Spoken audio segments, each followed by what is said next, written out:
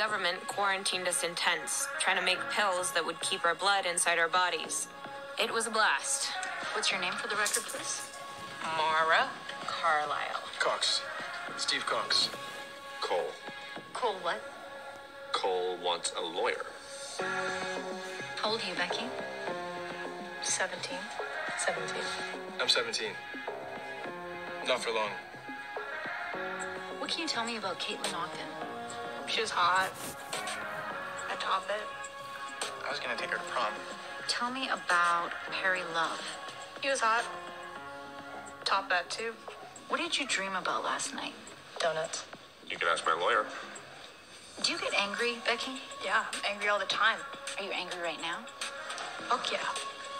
What is it you want to do in college? Stay alive.